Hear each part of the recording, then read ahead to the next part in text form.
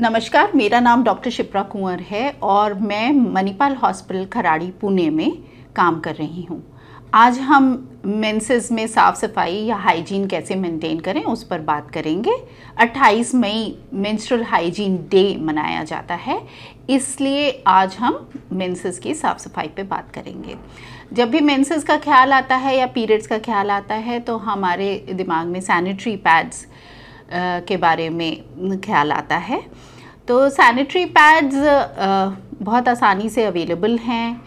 बस इनके साथ प्रॉब्लम यही होती है कि एक सिंथेटिक कोटिंग होती है, इसलिए इनको हर तीन चार घंटे पर आप चेंज करें तो बेटर है। आजकल रीयूजेबल क्लॉथ पैड्स भी अवेलेबल हैं। लेकिन इनकी अवेलेबिलिटी उतनी अच्छी नहीं है, जैसे सैनिटरी पैड्स की है बट ऑनलाइन आप इनको ख़रीद सकते हैं। ये क्लॉथ पैड्स रीयूजेबल होते हैं, इसलिए इनको वॉश करना या धोना पड़ता है।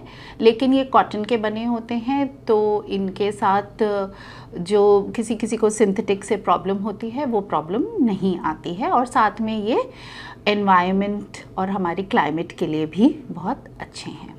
मेंस्ट्रुअल कप्स भी आजकल अवेलेबल हैं। मेंस्ट्रुअल कप्स जो होते हैं तीन साइजेस में अवेलेबल होते हैं स्मॉल मीडियम एंड लार्ज और इनको कैसे वजाइना में इंसर्ट किया जाए, इसकी टेक्निक या विधि भी इनके साथ लिखी हुई होती है। इनको जनरली फोल्ड करके वजाइना में इंसर्ट करा जाता है। और फिर जब निकालते वक्त इनको हल्का सा प्रेस करके कप पे हल्का सा प्रेशर देके इनको निकाला जा सकता है। इसकी कैपेसिटी 10 से 15 एम होती है ब्लड कलेक्ट करने की और फिर जब around five to six hours के बाद इनको चेंज करें। चेंज क्या मतलब इनको निकालें और धो के इनको रीयूज़ किया जा सकता है। इनको किसी आपको किसी एंटीसेप्टिक uh, सोल्यूशन में नहीं रखना बस इनको अच्छे से वॉश करके और ड्राई करके आप रीयूज़ कर सकते हो। फिर आते हैं टैम्पून्स जो कि काफ़ी यूज़ किए जाते हैं। टैम्पून्स भी वजाइना में इंसर्ट किए जा सकते हैं और इनके साथ भी यही है कि बहुत लंबे टाइम तक इनको वजाइना में नहीं रहने देना चाहिए। हमें फोर टू सिक्स आवर्स के बाद टैम्पून्स को चेंज कर लेना चाहिए।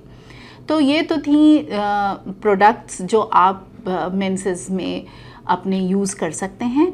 और साथ में जब भी आप पैड या फिर टैम्पून चेंज करें तो इस बात का ख्याल रखें कि आप अपने हैंड वॉश ज़रूर करें।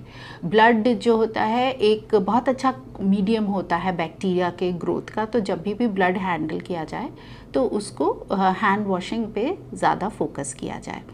और साथ में जो प्रथाएँ हैं, जो प्रैक्टिसेस होती हैं मेंसेस के साथ कि मंदिर नहीं जाना है या कुछ छूना नहीं है। इन सब पे भी आजकल इसके अगेंस्ट भी बहुत बातें हो रही हैं और मुझे लगता है हम लोग को आजकल वर्किंग फीमेल्स हैं जिनको इन सब पे ज़्यादा फोकस नहीं करना चाहते। और तो मैं आप सबसे रिक्वेस्ट करूँगी कि मेंसेस में हाइजीन कैसे मेंटेन करें। इस पे हम अब अपने साथ की सारी लेडीज़ को बताएँ, अपनी बच्चियों को बताएँ और world hygiene day menstrual hygiene day मनाएँ। Thank you so much